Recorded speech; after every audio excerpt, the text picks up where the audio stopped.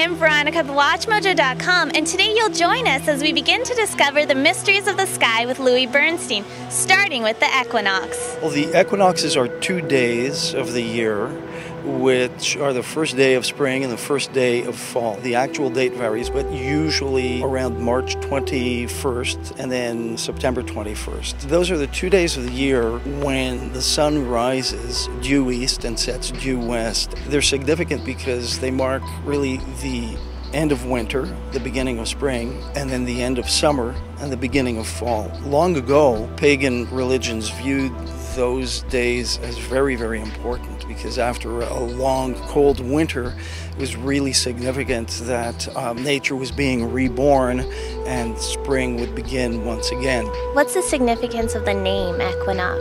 It means equal night. In the summer, the days are long the nights are short. We get up to 15 hours of daylight and 9 hours of night. On the equinoxes, it's even.